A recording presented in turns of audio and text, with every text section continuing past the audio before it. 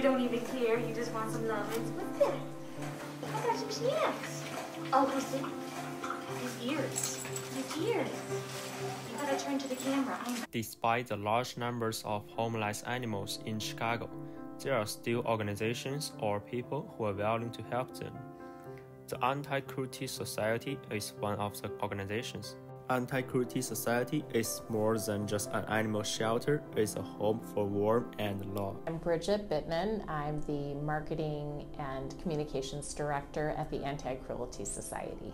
The Anti Cruelty Society is Chicago's oldest private animal welfare organization. We were founded back in 1899, and uh, a woman named Rose Faye Thomas, along with four other women, decided to form the organization to care for the horses and other animals they deserve more humane treatment.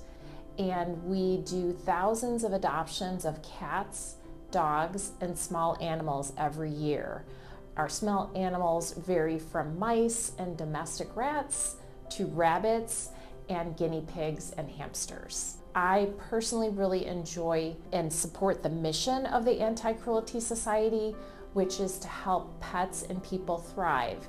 And it's not just the animals that are part of our organization, it's the people as well. So, the people that own the pets are genuinely interested in, in caring for their pets, and if they need extra help, we're there to do that. Just being able to find as many homes for animals that really have had a rough start in life.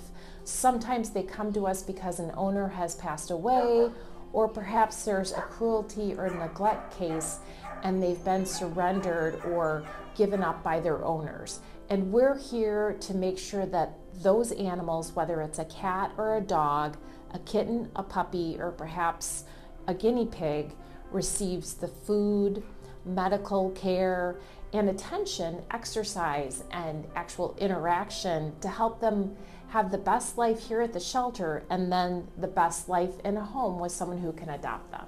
But at the end of the day, I get satisfaction knowing that I've helped lots of animals find homes as well as find solace where people care about them.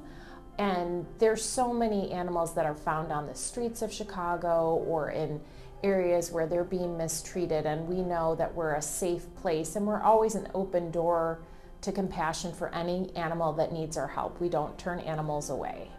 For Bridget, what she gains from working here is not only the sense of achievement of rescuing animals, but also the love between people and animals.